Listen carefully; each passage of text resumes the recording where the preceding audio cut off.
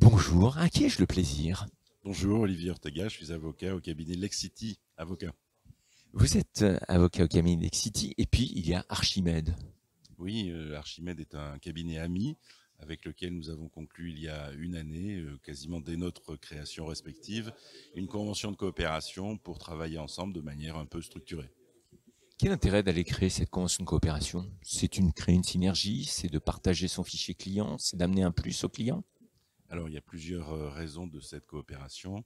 La première, c'est l'envie. On se connaît depuis très longtemps euh, et on est des structures qui, dans nos modes d'exercice antérieurs, ont déjà coopéré ensemble pour des clients communs et sur des thématiques communes. Donc on n'avait pas envie de ne pas poursuivre ce qui nous donnait satisfaction. Et puis on a euh, beaucoup de sujets euh, en commun à, travailler. Euh, on, est très actifs ensemble sur le sujet de la restructuration du secteur de l'habitat social et des bailleurs sociaux, où le volet euh, juridique et le volet fiscal doivent marcher ensemble. Il y a une chose qui était un peu étonnante dans votre métier, c'est que vous insistez beaucoup sur le fait de donner du sens. On se demande même s'il n'y a pas d'affectif entre vous. Si, bien sûr qu'il y en a. D'abord, le métier d'avocat est un métier qui consiste à travailler avec d'autres personnes. Certes, on a les dossiers techniques, il y a une rationalité froide, mais il y a aussi la relation humaine. Euh, nous, on travaille sur une relation de confiance. La confiance, ça se décrète pas, ça se crée lentement avec les clients et puis avec ses partenaires. Bon, euh, avec Archimède, c'est facile puisque c'est une relation qui a presque 20 ans, donc euh, ça fait un moment que la confiance a pu s'établir. Et puis, nos clients voient bien quand on leur propose une solution qu'elle est très intégrée juridique et fiscale et que une non-faisabilité de l'un des deux ne bloquera pas le projet. Ce qui est assez aussi original dans votre démarche aussi, c'est qu'on parle d'immobilier 3.0 ou de fiscalité euh, non, pardon, 4.0.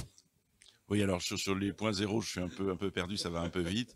Non, ce qui est vrai, c'est que nous on travaille sur des sujets d'immobilier innovant qui n'est pas l'immobilier euh, qui représente aujourd'hui le gros du marché, c'est vrai, mais c'est pour ça qu'on a créé des cabinets dédiés à ces questions-là, mais qui préfigurent l'immobilier de demain.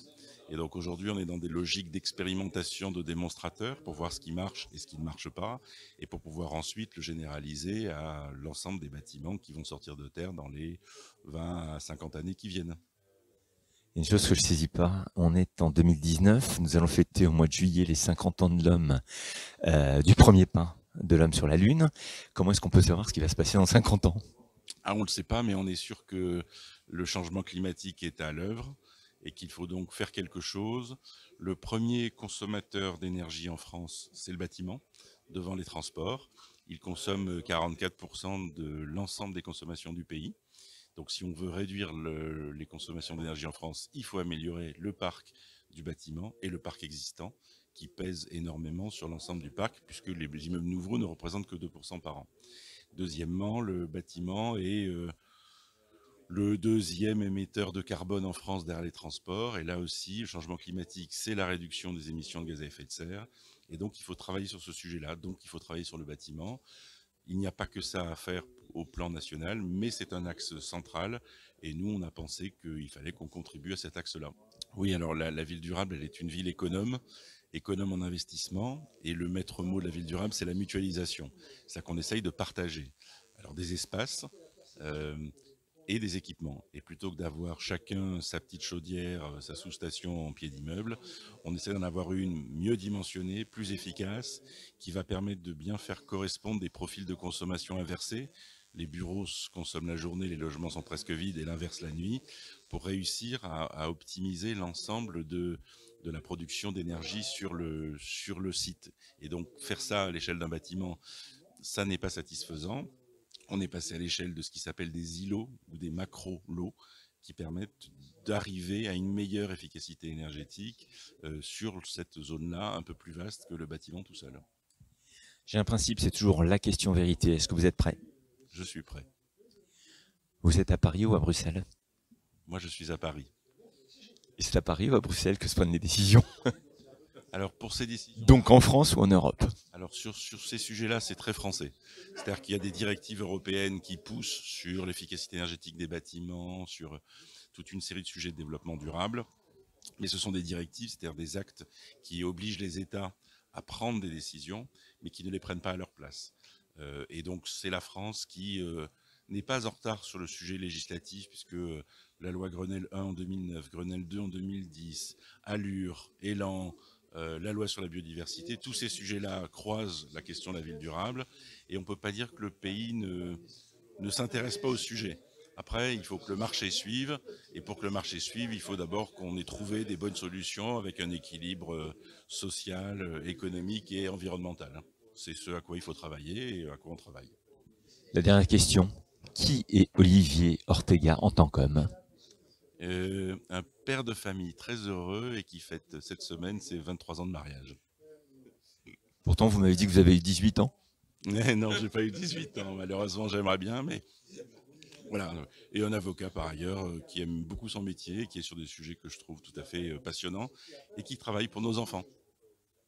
Je vous remercie. Merci à vous. Dans un univers atypique et insolite, je découvre. Bonjour, à qui ai-je le plaisir? Euh, Jérôme Kérou, associé du cabinet Archimède Avocat et Associé. Quel est votre métier? Alors, Notre métier, c'est avocat. Alors, avocat, c'est un métier, euh, on va dire, c'est une fonction, c'est un métier protégé. On se protège de quoi? On ne sait pas.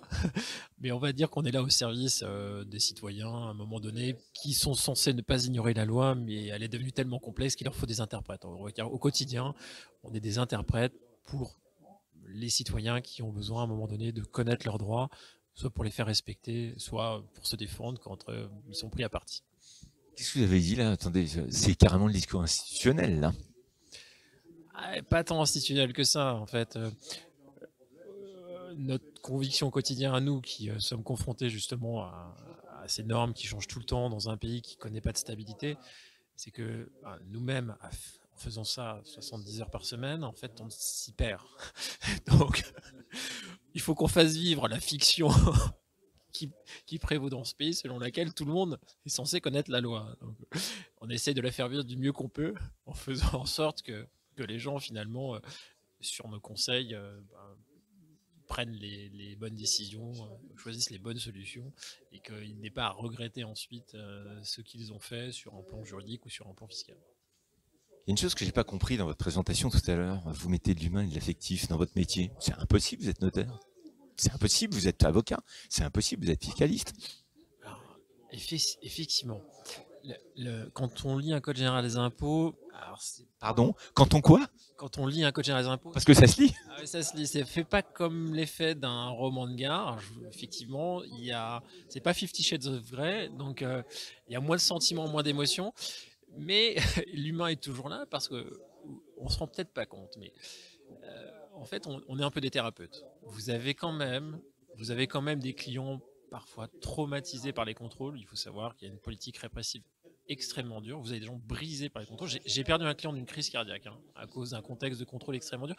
Il faut savoir qu'en plus, ce qui lui était reproché était totalement faux. C'est-à-dire que vous avez à un moment donné une machine administrative qui se met en marche, ça détruit tout sur son passage, et vous avez des petits bons hommes, c'est nous les avocats à un moment donné qui se mettons en travers. Alors pas besoin de particulièrement de courage. notre arme, c'est notre connaissance, notre savoir, le savoir des rouages, de la justice, euh, du droit. Et euh, à un moment donné, ben, on va intervenir pour essayer de rassurer ces gens, euh, les aider, les accompagner, donc parfois un chemin de croix. Parfois, ils peuvent être fautifs, et à ce moment-là, l'idée, c'est aussi de faire en sorte que la répression soit proportionnée. Parfois, finalement, ils n'ont rien à se reprocher, mais il faut des années des années à se battre pour euh, faire, euh, je dirais, entendre raison l'administration ou pour la contrer en allant chercher euh, le juge au secours en fait. Hein. Et là, pour le coup, oui, on est vraiment dans l'humain. On connaît Socrate, on connaît Platon. Avec vous, on découvre Archimède, on découvre Lex City. C'est un métier, c'est de la philosophie carrément chez vous. Ah, mais ça me flatte ce que vous dites. On aimerait bien justement se hisser au rang de la philosophie, ce qui n'est pas évident avec un code général des impôts. Hein. Mais quand on prend un peu de hauteur, et quand on regarde la place de l'impôt même dans l'histoire des sociétés, on aimerait bien se, hisser au niveau de la philosophie. Euh, on n'en est pas encore là. Le code général d'impôt est aussi aride à peu près, mais quand même, ça rend moins intelligent euh, que les écrits de Socrate, Platon ou, Archimède.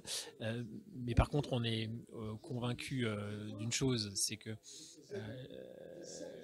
notre métier, c'est un métier où si on ne prend pas de recul, si on ne prend pas de hauteur, en fait, euh, on passe à côté de, ce qu'il y a derrière. Et la fiscalité, il y a qu'à voir en France à quel point ça agite les esprits. La fiscalité, si vous réfléchissez bien, si vous vous renseignez, est à l'origine de l'écriture. Les premiers écrits sont des livres de comptes pour asseoir des impôts. C'est vous dire à quel point, c'est vous dire à quel point le mariage entre la fiscalité et Homo sapiens remonte très très loin. Oui, c'est pas Gutenberg, hein, c'est carrément euh, la grotte de Lascaux ou, ou la grotte Chauvet. Mon argile, oui. Allez, question vérité, vous êtes prêts? Qui est Archimède? Alors, Archimède, grand penseur grec et grand ingénieur, c'est le Léonard de Vinci de l'époque. Question vérité 2. Que signifie Lexity Et comment ça s'écrit? Lex City, Lex latin, L-E-X, City l'anglais, C-I-T-Y. Alors c'est le mariage de la culture romaine anglo-saxonne, et puis surtout Lex City, c'est euh, Olivier Ortega, un ami brillant, quelqu'un qui met sa carrière au service du développement durable, et je pense qu'il contribue fortement à ce que demain on ait des villes meilleures euh, qui, qui émergent du sol. je vais, je vais dire une information que je trouvais.